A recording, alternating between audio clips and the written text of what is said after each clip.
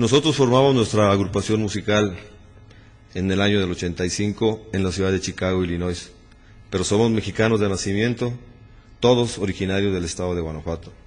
Este homenaje es para ustedes, con mucho amor de viento y sol para toda la gente de Chicago, para toda la gente de Estados Unidos y especialmente a nuestra gente de México. Gracias.